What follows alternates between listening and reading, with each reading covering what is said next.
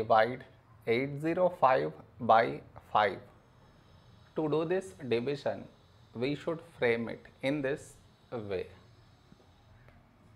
805 here, 5 here. This is your step 1.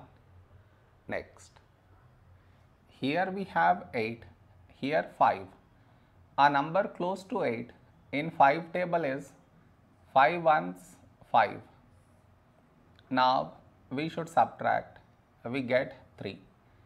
After this, bring down the beside number, so 0 down, so 30. When do we get 30? In 5 table, 5, 6, 30. Now we subtract, we get 0. After this, bring down the beside number, so 5 down, so 5. When do we get 5? In 5 table, 5 ones 5.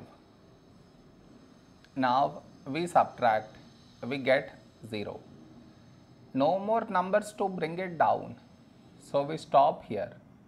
This is our remainder, this is our quotient.